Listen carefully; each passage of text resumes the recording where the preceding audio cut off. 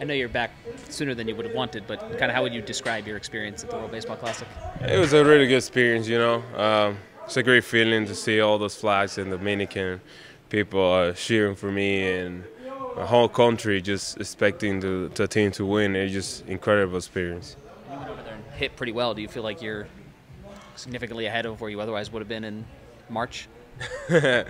I just try to do something for my team, you know. I just try to help them as much as I can. You know, I was seeing the ball well. Um, i was facing guys that I never faced. I don't know what they have, and I just try to go out there and do my best. Uh, definitely, I feel great. I feel my timing is right on point, and we're just gonna keep grinding on it. I feel like it's just a continuation of what you were doing here, what you did there. You been seeing the ball well the whole time. Is it about the same thing? Yeah, definitely, definitely the same thing. You know, uh, it's a little bit more exciting over there. You know, you have more time. You you can do your stuff and everything. You don't have to worry about the clock, and it was it was pretty fun. I enjoyed it a lot. Was there any particular value in getting to talk to Dominican guys from teams around the league? Like, did you learn anything, I guess, from your Dominican teammates? Uh, it was a really short time to learn anything, but definitely uh, how how much talent we have in the country and how much good players we have is just incredible. And share the locker room with those guys, it was amazing moment, amazing feeling, and and looking forward to keep doing it. Was there someone in particular you were excited to share a locker room with? I mean, Jose Reyes and uh, Robinson Cano was you know those veteran players they they always were right next to me in the locker room and i i feel glad to be right next to them and enjoy the moments with them. Can you draw a comparison for yourself this spring and last in terms of how you felt?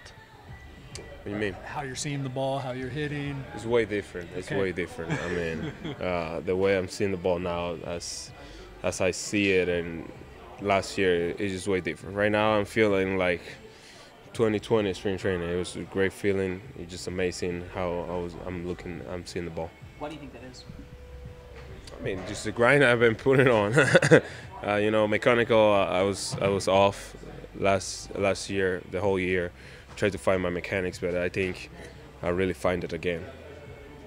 So when did your swing last feel like it feels right now, 2020 or 2021? Yeah, definitely. I feel I feel like that right now. you know. Uh, seeing the ball, hitting the ball on all kind of ways. Is the calf calf's not an issue anymore? Not anymore, you know. Uh, it feels pretty good. I play all those games on the turf, and I was really impressed um, how how my body reacts and everything. It, it feels good. Uh, so far, we're good. We're gonna keep doing treatment, but it feels great right now.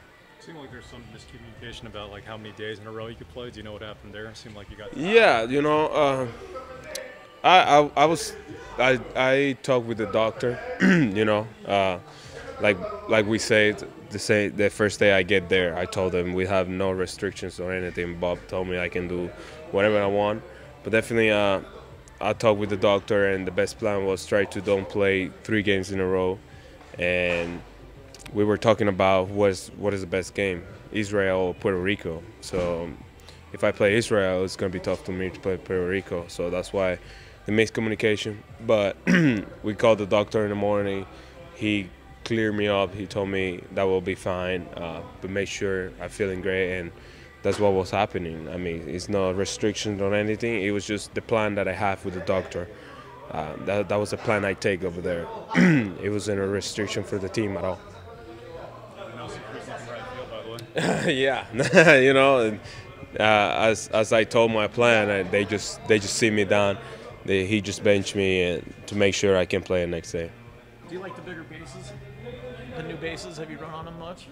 I mean, I know World Baseball Classic had the old ones, right? Yeah, I mean, uh, the ones we used the the first couple days in the in the in the in the complex here, I hate it because they were soft and they were yeah they were turning on everybody's ankles and all that kind of stuff. So if they make sure it's hard enough where we can step on it and it won't have an issue, I have no problem with it.